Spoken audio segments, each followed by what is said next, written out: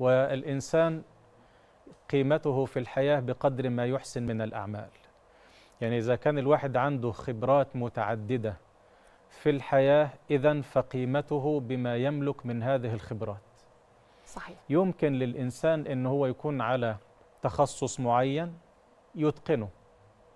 لكن لا يعني هذا أن الإنسان يرفض المعلومة التي تأتيه عن أمور أخرى في الحياة ممكن تكون سبب في يعني تقدم الإنسان ونجاة الإنسان وأنه يوفر لنفسه أكبر قدر من الفرص التي تنفعه في الدنيا والآخرة آه يعني مش معنى إن أنا متخصصة في مجال معين ما أقبلش أي معلومة أو أي آه، حاجة ممكن تفيدني من تخصص تاني لا شك أن م. الإنسان استعداداته الفطرية التي فطره الله سبحانه وتعالى عليها تتسع لحاجات كتير جدا ممكن تكون مفيدة ونافعة إلى أقصى درجة.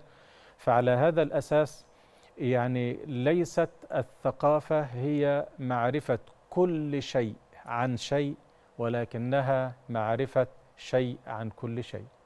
فممكن الواحد هنا يبدأ يقول أنا متخصص في الحاجة الفلانية يركز فيها ويتقن فيها ويزيد فيها من المعلومات ومن الإلمام بحيث أنه هو يعني يكون محقق آه، أعلى درجة يعني إنجاز وشيء جميل فيها. أما هذا فلا يمنعه أبدا أنه هو يكون عنده يعني ملكات أخرى يستخدمها ويرضي بها الله سبحانه وتعالى.